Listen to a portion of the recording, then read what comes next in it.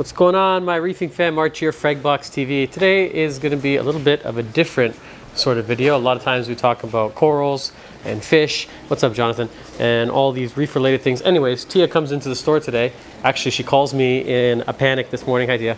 And she says, come to the store right away. I smell burning, which is not good because we have a lot of salt water here in the store and a lot of electricity and a lot of hardware going on and mixing with salt water and sometimes it can be a recipe for disaster. So today's video is going to look at aquarium wiring and wire management. It is quite important and there's also a safety concern. So anyway, she's walking through the store and she finds, um, if you know the store at all, this is her Fluval Evo here. And as you can see, the AI Prime uh, uh, uh, is not on right now. And if we take a close look at the lens, it's actually burnt. So originally what we thought was the LEDs burnt into the lens and then it was creating a crappy smell. But that wasn't the entire story. What actually happened was this power supply over here got wet. Oh, this is actually the new one. Hold on, let me show you. Sorry, you got the old one? Yeah. Let me show you the old power supply over here. It got fried from salt creep and didn't catch fire, which is good. Where's the other end of the power thing? Yeah, so very, very unsafe and not caught fire, but melted the plastic. Here's the other end, what it looks like. And that was due to uh, our fault. It was just salt creep building up behind the tank, so the wiring wasn't done terribly well.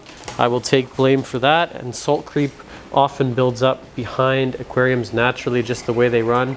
You get um, what they call salt creep, and it's just the salt kind of building up, and the power bar was just hanging out over here loose. Uh, so over time, the salt got in there and uh, it, it burnt the plastic. Not good. It could have been much worse, obviously. Uh, this, as I'm showing you here, is also not safe. A lot of these wires, the way they're running, is are not safe. So today's project, what we're going to do is pull this off the wall and then go and clean up all the wires and electrical tape any connections and kind of make them nice and neat and organized. Down here in the basement, I've done my best to keep the wires organized. Um, let me show you down here. It's still a little bit haphazard. It's better than when we first moved to the store. It was really bad. So what I've done now is put everything inside this cabinet and I it's kind of like organized chaos. I, I know more or less what's going on, but by having them all the wires, this is kind of like the brain of the store all in here, we avoid any possibility of getting them wet really because this is um, inside this nice enclosed cabinet. And as you can see, there are most of the plugs that are running the store and power bars, but at least they're gonna stay nice and dry. On the other side of the cabinet, this actually is just a kitchen cabinet from IKEA that happened to work perfectly. They weren't, uh, wasn't very expensive. I just cleaned, cleared out the bottom to do sort of a little dosing section. On the other side of the cabinet is our sump. So we have uh, the sump that runs the entire store connected to um, another kind of frag system down here. And then all the wiring semi-organized, semi-organized goes um, up and then into the cabinet here. But most of the connections are in there. So there's, you know, not a large chance of stuff getting wet. This is not good, what I'm looking at right here. You see how I've just plugged that in? And what I'd like to do is take electrical tape. If you have a connection like this and you know you just end up that way just electrical tape this um, so that in the instance of something getting wet you know you have um, that sort of protection. And then across the ceiling with the plumbing hello again. What are you, are you guys following me?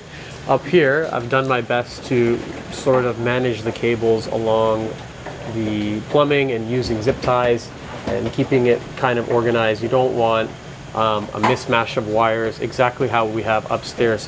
One of our grow out systems over here is going to get completely revamped because it's become basically just a disaster of wires. I was working on it because something um, was messed up, so I was kind of pulling through it and I've made it way worse than it, than it was. It's like really exaggerated, but this is very, very much not safe. So what's going to happen here I can do a video after I'm done doing it. It's probably going to take me the better half of an afternoon, but I'm going to pull everything out from here and I have a custom cabinet, little cabinet being built and everything's going to go back in nice and orderly and tidy away from wires and splashing. This is very easy for water to come down and you know hit power bars and electrical and you definitely don't want stuff like this sitting on the floor because if you have God forbid a flood uh, a seam that give, uh, gives out. You know, I've had a, a fire years ago from a power head like this.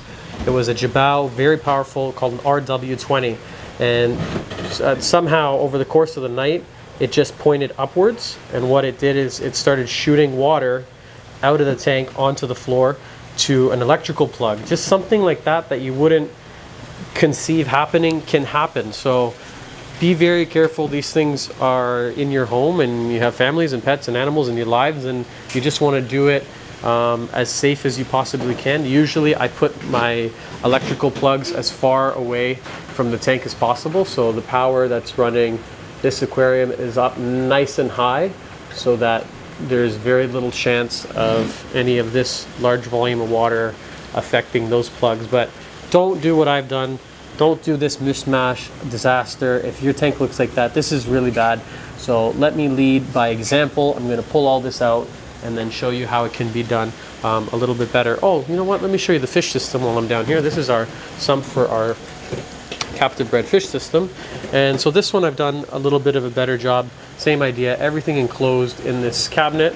So when you open it, it's not, it could be tidier, absolutely. Um, you know, cable management can look sexy if you do it right, but at least everything is sort of away and hidden and there's very, very little chance of the water and the moisture from these tanks um, getting into there. I'm doing the same sort of over here.